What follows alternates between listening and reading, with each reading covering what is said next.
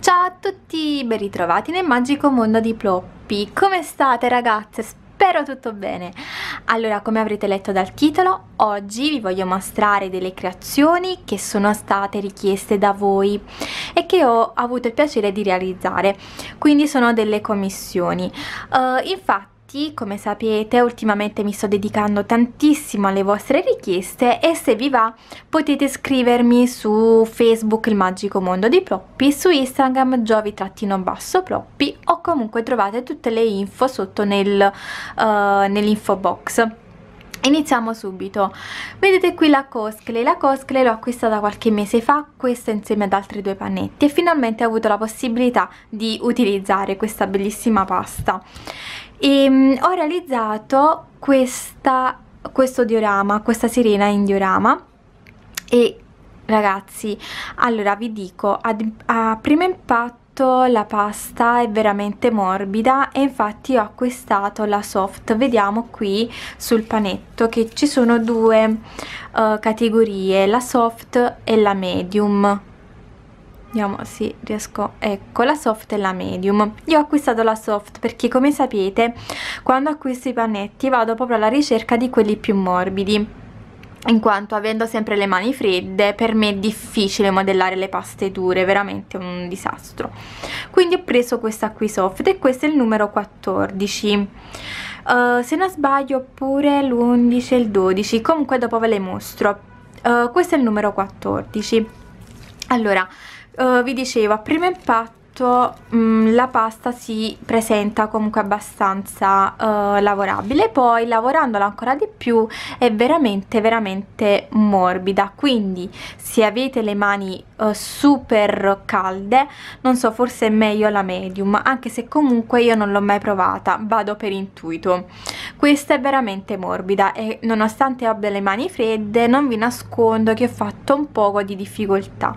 Però insomma niente di insormontabile basta prenderci un po' la mano allora, uh, visto che comunque uh, la figura è abbastanza statica e non riesco a mostrarvi più di tanto l'elasticità di questa pasta perché comunque le sporgenze sono veramente poche a parte questo, questo lato qui e quindi tranquillamente ve lo posso mostrare. Mm, proprio per ragione di proprio in virtù di questa situazione mi sono lasciata da parte dei pezzettini di Cosclay e uh, questo io l'ho uh, mischiato con un pochettino di uh, premo bianco. Perché? perché uh, me piace molto per quanto riguarda le mie creazioni dare un incarnato quasi angelico quindi molto molto bianco. E quindi l'ho schiarito ancora di più mm, con il premo bianco. E ho fatto anche a questo punto un esperimento per vedere cosa succedeva. E uh, la resa è veramente super elastica indipendentemente dalla presenza comunque di un'altra pasta all'interno appunto la premo. E um, sì confermo ciò che è stato sempre detto anche da altri creativi ovvero che la caratteristica particolare e super interessante di questa pasta è proprio l'elasticità. Per quanto riguarda invece uh, quest'altro pezzettino come potete vedere ho fatto tipo un ricciolo.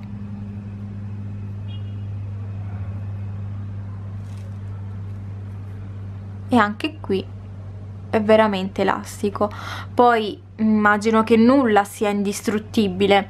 Uh, ragion per cui insomma bisogna sempre fare attenzione. Però a differenza delle altre paste noto una sua super elasticità. Mm, questo è sicuramente confermato anche da me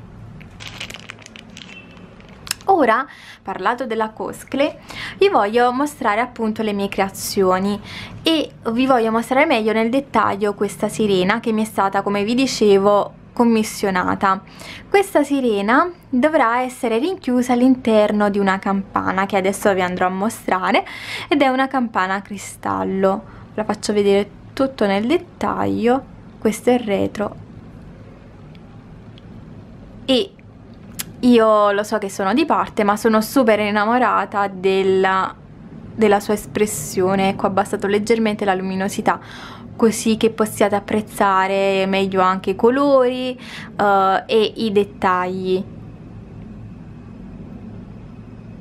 fatemi sapere sotto nei commenti cosa ne pensate io spero tanto vi piaccia. Ma non è finita ovvero come vi dicevo deve essere rinchiusa all'interno di questa campana ed eccola qui. Questa è la campana che poi andrò a incollare. Eccola. E niente ne sono veramente innamorata la metto così in modo tale che insomma si veda bene. Fatemi sapere cosa ne pensate. Io spero tanto che piaccia anche a voi. Uh, ne sono veramente innamorata e questo mi ha aperto un mondo. Infatti ne farò tante altre uh, su quest'impronta. Ed è super sbrilluccicosa. Vediamo se riesco. Ecco qui riesco a mostrarvi meglio anche il suo interno. Ho lavorato tutto all'interno della campana ovviamente. Vediamo un po' eccola qui. Cosa ne pensate ploppine? Vi piace? Spero tanto tanto tanto di sì. Allora, continuando sempre con le vostre richieste, vi mostro Uh, delle richieste per quanto riguarda invece i ciondolini allora mi è stata richiesta Mary Poppins. E adoro tantissimo quando mi date campo libero. Cioè nel senso che uh, mi dite vorrei un ciondolo di Mary Poppins con lo sfondo però fai tu e lì do il meglio di me. E infatti ho realizzato lo sfondo di Londra. Come si suol dire la silhouette no? vediamo qui il Big Ben insomma uh, ho fatto il cielo stellato eccetera e poi qui in alto Mary Poppins con la sua valigia che c'è il mondo all'interno di quella valigia e il suo ombrellino che mi ha sempre fatto tanta simpatia e niente qui sotto però troviamo un simpatico pinguino che ripreso per chi ovviamente conosce ma chi non conosce la storia di Mary Poppins ripreso dal quadro nel quale lei insieme allo spazzacamino e i bambini si tuffano. E adoro, ho sempre adorato questi pinguini col papillon. Eccolo qui. E niente spero vi piaccia. Alla committente è piaciuto tantissimo e ne sono stra stra felice poi sempre su richiesta mi è stata richiesta una cattiva in questo caso ho realizzato Crudelia che non avevo mai realizzato. E cioè mai realizzato per quanto riguarda questo genere di creazione. E qui al centro uh, ispiratomi da un disegno che ho visto su Pinterest ho fatto la finestrella con Pongo e Peggy se non mi sbaglio la, la fidanzata si chiama così e qui un cucciolotto. Ve lo avvicino. Vabbè è stato un parto per fare uh, i due cagnolini all'interno. Io li realizzo sempre utilizzando ecco lo stavo prendendo i pennellini per quanto riguarda la nail art perché altrimenti sarebbe impossibile fare delle creazioni così piccole. Per chi non mi conosce magari vede per la prima volta questo video tutti gli sfondi io li dipingo con, con gli acrilici uh, facendo tra virgolette un vero e proprio quadro poi mm, sempre un'altra favola questa però già l'avevo realizzata mi è stato richiesto di uh, riprodurla e uh, ho realizzato Cenerentola. Allora come sapete in genere io uh, non realizzo, non riproduco um, come si suol dire creazioni che hanno fatto parte di un'app. Uh, però ho fatto uno strappo alla regola perché insomma la, la committente la, è una fidata ploppina veramente da, da, tanti anni e la ringrazio di vero cuore e non potevo dirle di no ragazze assolut assolutamente.